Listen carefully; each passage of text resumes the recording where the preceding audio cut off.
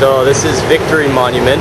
Uh, we live about a 10 minute walk from here. It's much of the hub of transportation for Bangkok.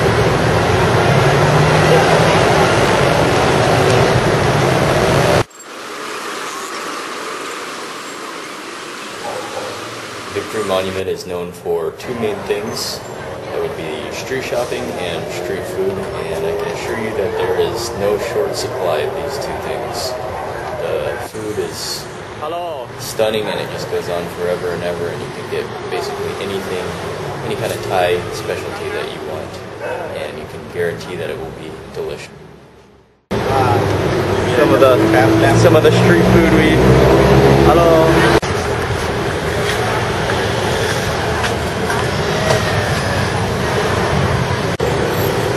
So this is the street that we live in. It's called Ratchat Witi.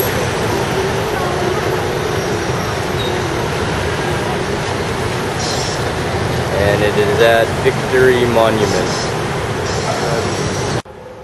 Alright, I am about to enter my apartment. Uh, this is in Bangkok. So I'm going to give you guys a little tour of where I live. Studio apartment. Uh, walk in, here's where we like to sleep.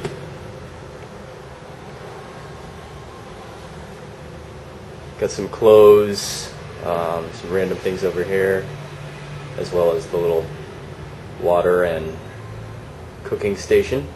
It's where I heat water and make tea. Got my closet over here, along with this tiger poster that I picked up in Hong Kong over to the right. Oh yeah, I got my computer along with speakers.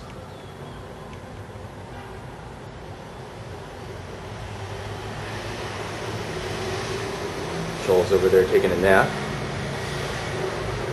And show you guys my bathroom. So, there's the bathroom right here the toilet. And as you can see, there would be no toilet paper. And I've grown, grown extremely accustomed to the spray and shake method as opposed to the wiping method. I don't think I can go back to using toilet paper ever again. Here's the shower.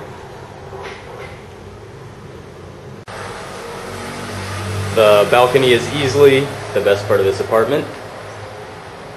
So I'll give you guys a look at my balcony. I got my hammock. Uh, number of assorted plants.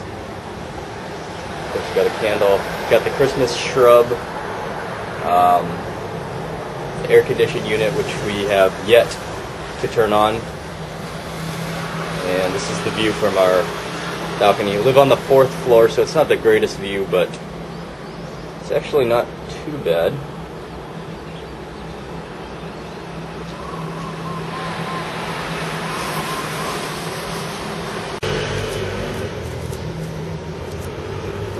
Okay.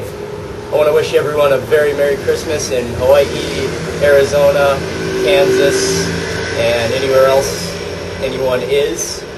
Have a great Christmas and uh, also a Happy New Year. I I will be sure to eat a lot on Christmas Day, even though I won't be able to see any of you guys. And I hope you guys will also have a fantastic meal and great time with each other. Uh, in case you have noticed, I haven't actually cut my hair since Ham's wedding, so here it is. I do try to keep it pretty tidy uh, by showering every now and then, and I might even have a shower on Christmas Day. But I hope you guys have an awesome time.